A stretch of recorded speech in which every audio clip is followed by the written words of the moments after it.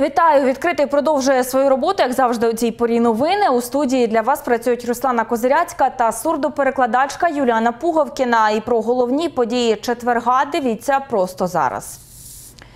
Сьогодні Кривий Ріг прощається із загиблим міським головою Костянтином Павловим. Провести його в останню путь прийшли тисячі містян. Люди стояли у кілометровій черзі. Прощання та панихида проходили у театрі Шевченка. Труну супроводжували живим коридором колеги, товариші та вдячні мешканці Кривого Рогу. Люди аплодували і не стримували сліз. Нагадаємо, Костянтина Павлова знайшли мертвим на порозі власного заміського будинку 15 серпня. Наразі правоохоронці розглядають кілька версій: вбивство, самогубство та необережне поводження зі зброєю.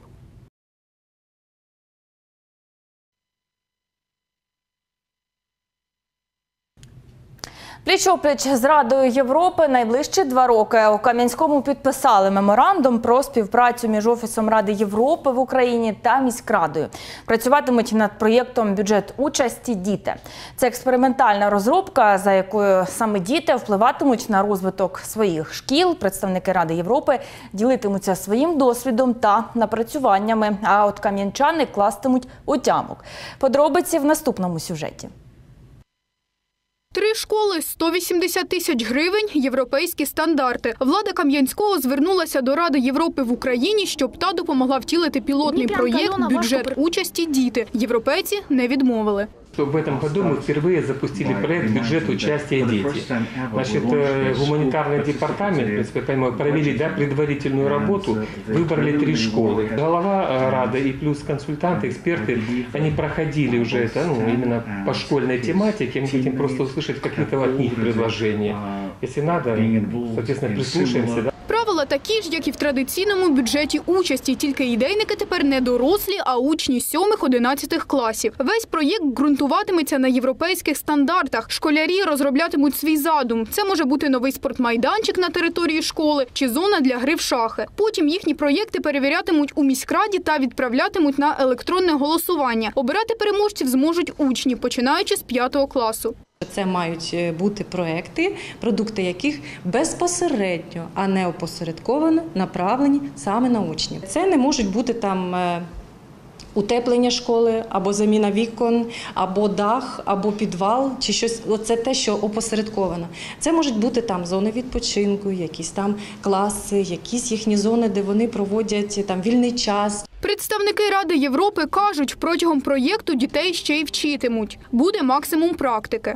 Uh, Ми запропонуємо найкращі приклади досвіду запровадження подібних проєктів громадянсько-шкільної участі. Все буде виконуватися згідно зі стандартами Ради Європи. Наші пропозиції, рекомендації будуть допомагати протягом всього процесу, починаючи від участі і залучення дітей до процесу прийняття рішення, вибору проєктів під фінансування, голосування та запровадження.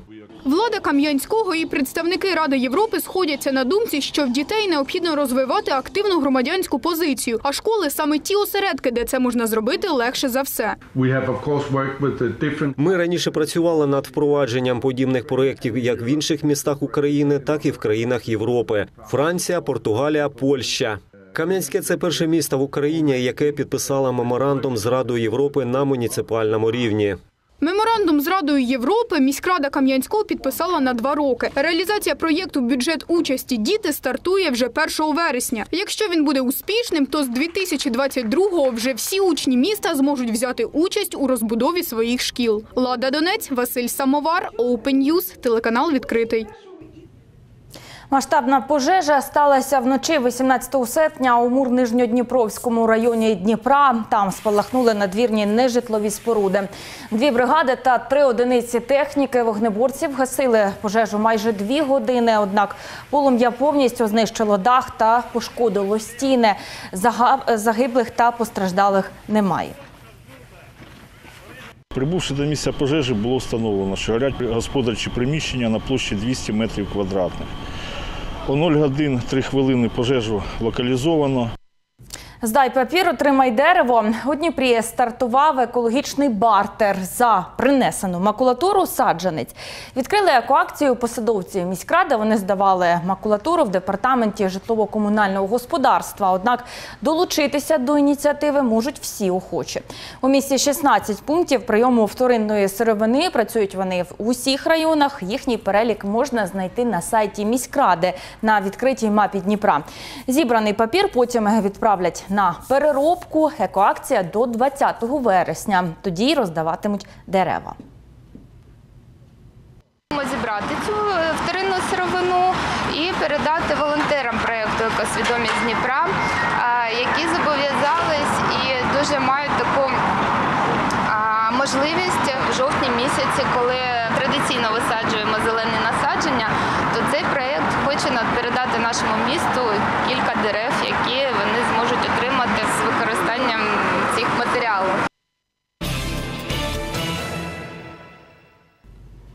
Літо, що б'є всі рекорди. Останній місяць стовпчики термометрів вперто рухаються до 30-градусної позначки. Така спека завдає дискомфорту та виснажує і може нашкодити здоров'ю.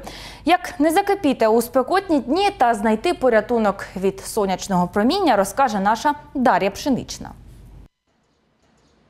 Дніпрянка Альона важко переносить аномальні температури. Через спеку в дівчини часто паморочиться в голові, темніє в очах та інколи зовсім немає сил. Ну, жара для меня это большое испытание. Вечером я могу только себя чувствовать комфортно на улице, потому что тогда уже прохладнее становится. А вот днем это огромная проблема находиться на улице, на открытом про- пространстве, под солнцем, да даже в закрытых помещениях, потому что э, в большой части из них э, очень душно. Цьогорічне літо не дає розслабитися. Висока температура – це серйозне навантаження на людину. У спеку зростає ризик зневоднення. Аби цього не допустити, важливо стежити за питним балансом, наголошують дієтологи. Кажуть, для поповнення запасу рідини – чиста вода. Добре втамовують спрагу також зелений чай, компоти та морси. Алкоголь та кава створюють додаткове навантаження на серце та спричиняють зневоднення. У спеку треба намагатися скоротити кількість солоних продуктів, консервантів, прянощів, смаженої їжі, м'яса і жирів, борошняного і солодкого. Акцент стоит сделать на э, овощах в первую очередь. Это как сырые овощи в виде салатов, так и термически обработанные, тушеные, отварные, запеченные в виде супов. Вот. И обязательно в рационе легкие белки. Это яйца, это кисломолочные продукты, это нежирная рыба и птица.